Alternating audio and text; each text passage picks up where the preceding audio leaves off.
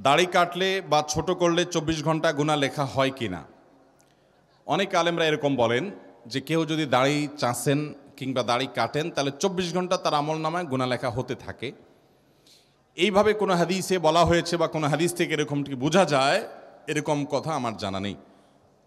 তবে এটা ঠিক, যদি কেউ নবী করিম সাল্লাহ সাল্লামের নির্দেশ আফুল্লোহা আর খুল্লোহা নবীজি বলেছেন, দাড়িকে লম্বা করো, দাড়িকে ছেড়ে দাও এই নির্দেশ যদি কেউ অমান্য করে, এটা যদি কেউ লঙ্ঘন করে, তাহলে সেক্ষেত্রে সে গুনাহে লিপ্ত হয়। এটা ছোটোখাটো গুনাহ না।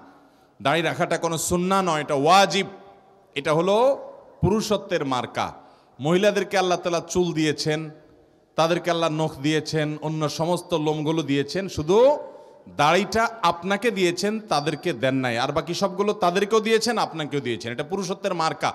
মোচ গোপ এটা আপনাকে দিয়েছেন। আল্লাহ তালা তাদেরকে দেন নাই। এই জন্য গোপ ছোট ছোট করবেন, রাখবেন আর দাড়ি বড় করবেন। এটা পুরুষত্বের মার্কা। আল্লাহ তালা আমাদেরকে পুরুষত্বের মার্কা ধরে রাখার তৌফিক দান করুন। এটা যদি আপনি ফেলে দিতে চান, তাহলে লক্ষণ ভালো না। এর মানে আপনি তাদের মতো হতে চাচ্ছেন। এটা জায়েজ না, এটা গুনাহের কথা।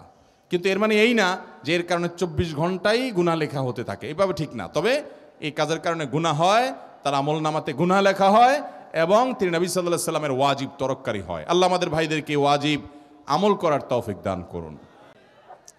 আমি পড়াশোনার জন্য বর্তমানে জার্মানিতে অবস্থান করছি এবং একটি হোস্টেলে বসবাস করছি। এখানে আমাকে বিভিন্ন ধর্মের ছাত্রদের সাথে রান্নাঘর শেয়ার করতে হয়।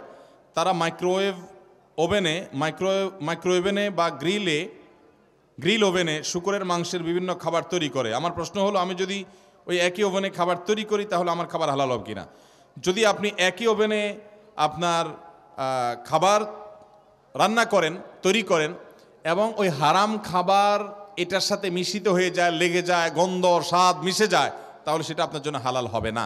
আর যদি এটা পরিষ্কার করে নেন, ওর কোনো গন্ধ, আলামত কোনো কিছু হালাল খাবারে আসে নাই, যেমন একই পাত্রে সে রান্না করছে, আপনি ধুয়ে পাক সাফ করে আপনি সেটাকে সরই পদ্ধতিতে পবিত্র করার পর রান্না করেন, সেটা যেরকম হালাল হবে, এখানে সেরকম পাক সাফ করলে তারপরে কি হবে? হালাল হবে।